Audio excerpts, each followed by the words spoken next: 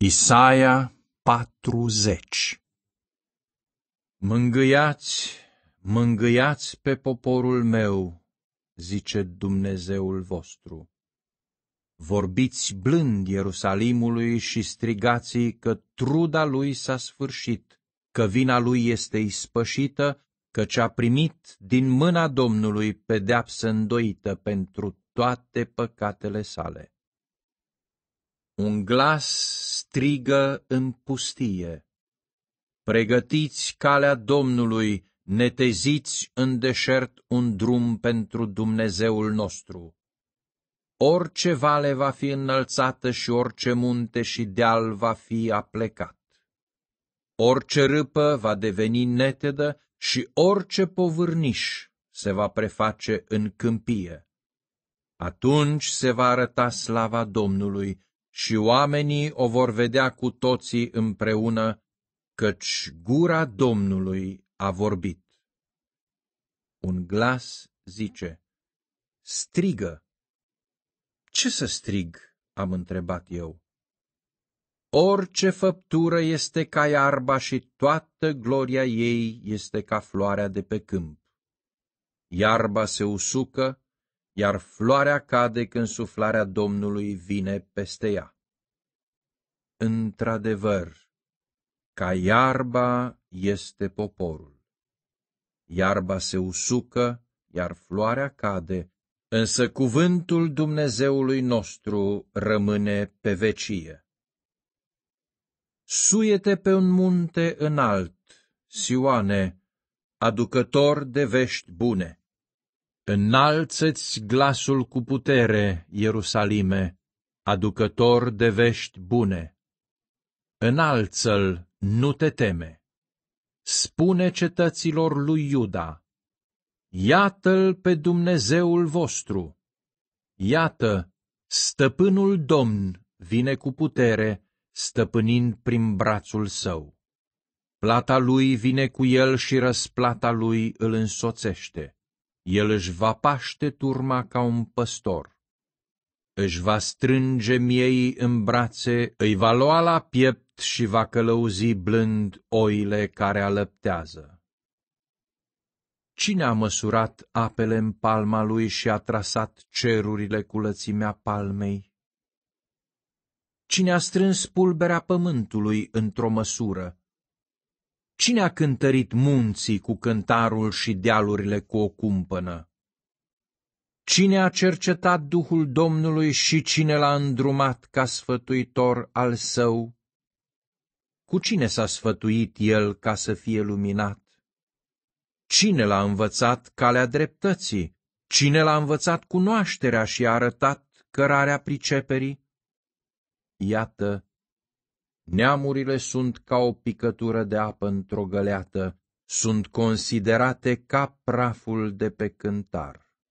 Pentru el, insulele nu cântăresc mai mult decât un fir de praf. Libanul nu ajunge pentru foc, nici animalele lui pentru arderea de tot. Toate neamurile sunt un nimic înaintea lui, mai puțin decât nimic și deșertăciune prețuiesc ele în fața sa.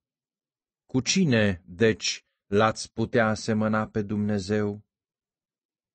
Ce imagine ați putea găsi pentru el? Un idol? Un meșter îl toarnă și apoi un aurar îl polește cu aur și îi face lănțișoare de argint. Cel ce este sărac alege un lemn ce nu putrezește și își caută un meșter iscusit, pentru ca acesta să-i facă un idol care să nu se clatine. Nu știți? N-ați auzit? Nu vi s-a făcut cunoscut de la început? N-ați învățat nimic de la întemeierea pământului? El este cel ce șade deasupra cercului pământului, ai cărui locuitor par niște lăcuste. El este cel ce întinde cerurile ca pe un baldachin și le desfășoară ca pe un cort de locuit.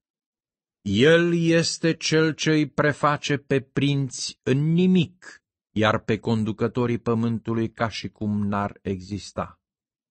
De-abia sunt sădiți, de-abia sunt semănați, de-abia li s-au înrădăcinat tulpinile în pământ, că el și suflă peste ei, uscându-i, iar vijelia îi ia ca pe niște paie. Deci, cu cine mă veți asemăna ca să fim deopotrivă? Zice cel sfânt. Ridicați-vă ochii spre ceruri și priviți. Cine a creat toate acestea? El, cel care face să apară oștirile lor una câte una, chemându-le pe nume. Atât de mare este tăria lui, atât de tare este puterea lui, că nici una nu lipsește. De ce spui, Iacove, de ce zici, Israele, calea mea este ascunsă de Domnul și dreptul meu nu este luat în seamă de Dumnezeul meu? Nu știi? N-ai auzit? Domnul este Dumnezeul cel veșnic, creatorul marginilor pământului. El nu obosește, nici nu ostenește, iar priceperea lui este de nepătruns. El dă putere celui obosit și îl întărește pe cel fără putere.